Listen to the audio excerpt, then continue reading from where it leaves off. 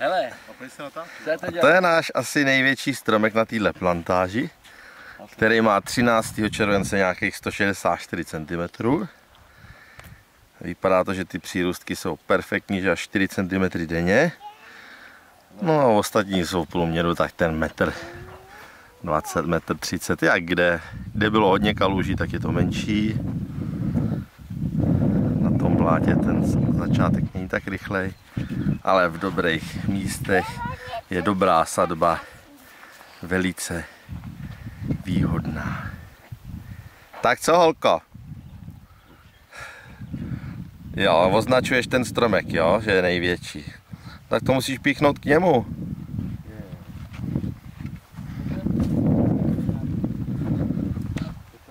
Dej tam ten, tak to jde Você vai Japão